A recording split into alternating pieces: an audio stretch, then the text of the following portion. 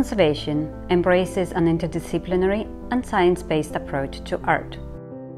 Conservators are highly educated and trained individuals who underwent years of studies in science, chemistry, history, ethics, and art, to name but a few.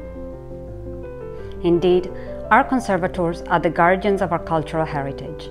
They are passionate about the arts and dedicated to preserve our treasures for future generations. At Stella Art Conservation, we are specialized in museum quality art conservation and restoration of paintings, sculptures, artifacts, and other artworks, from the ancient to the contemporary.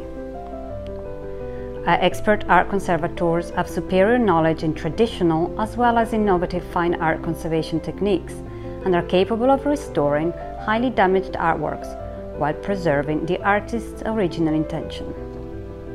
Our chief art conservator, Barbara Stella, is a professional associate of the American Institute for Conservation, and she stringently follows its rules and regulations.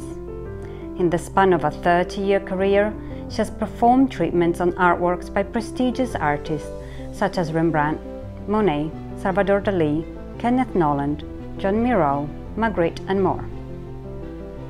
Join us in this journey behind the scenes of Stella Art Conservation, narrated by our Chief Conservator, Barbara Stella. A conservation treatment always begins with the examination of the artwork. For that purpose, we use different tools and methods to reveal the actual condition of the painting. The specialized equipment we use for the examination are UV light, raking light, microscope, and eventually infrared X ray. It's essential for a conservator to record all the information obtained throughout direct observation and in depth researches regarding the artist, the history, and artistic techniques. When all this information is recorded, we can establish a conservation treatment protocol.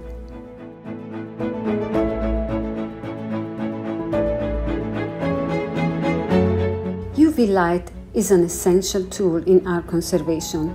It enables our conservators to examine paintings and help us to detect previous restoration as well as understand the materials used by the artist and much more.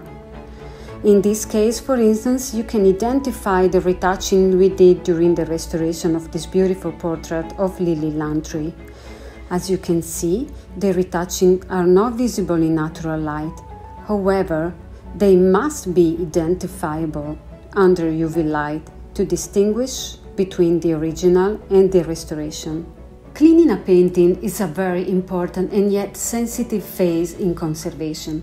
Accumulated layers of dirt, grime, soot, smoke, discolored varnish, old retouching, over time can alter the appearance of the painting. As a consequence, the image may look darkened, yellowed, or dull, or simply it doesn't appear as clear or sharp as you remember. By removing this layer, a conservator can bring a painting back to its original brightness. Cleaning an artwork requires skills and knowledge in chemistry, material science, and much more. It also requires years of training and practical experience. Indeed, improper cleaning can cause irreversible damages. To clean a painting, we use several methodologies and materials, from the traditional solvents, solvent gels, to the new methodologies and new materials that are constantly improved. So, today, we can also use microemulsion, aqueous solution, and adjusted water where we change the pH of the water, making it more acidic or basic based on what we need to solubilize on the paint layer. We also have the latest innovation in conservation, which is nanotechnology, another important technology that can be used particularly for sensitive paintings that do not support any water or solvent solutions. We perform preliminary tests to determine the most appropriate cleaning solution and methodologies. We also evaluate the solubility of the material that needs to be removed from the surface. We do especially take into consideration the stability of the original materials and much more prior to proceeding with the cleaning. We do deeply examine the artwork and carefully select the proper cleaning solution. In this case of this painting depicting the Rialto Bridge in Venice, which is an oil on canvas, it presents a layer of nicotine on the surface. As you can see in this area where I removed the layer of nicotine, I was able to reveal the original brightness of the color. The difference is absolutely dramatic. For the cleaning in this phase, I used adjusted water, changing the pH of the water with a lower pH to remove the layer of nicotine. In this other painting depicting a portrait of a lady, we have a different issue, which is a very thick discolored varnish. Traditional oil paintings usually have a final coat of varnish over the paint layer as a protective layer from dust and atmospheric pollution. However, the varnish are natural resins that with time, light and humidity have the tendency to discolor and change the overall brightness and tone.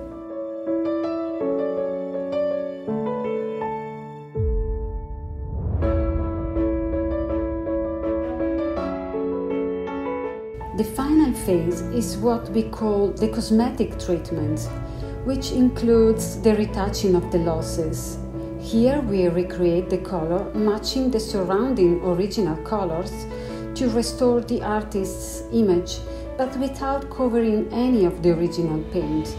The retouching or inpainting must be confined to specific area of loss and the materials used must be reversible.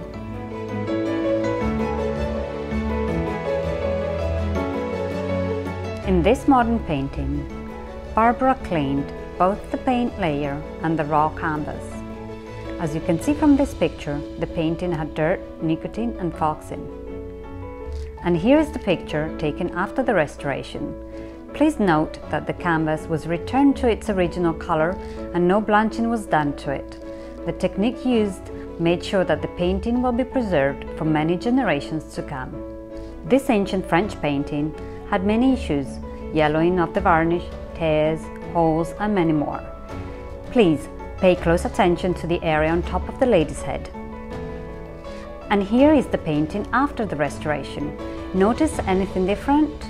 The hat was overpainted during a previous restoration and it was a true pleasure for us to bring the painting back to its original beauty, revealing the hat that the artist had so skillfully done. That's the purpose of an art conservator.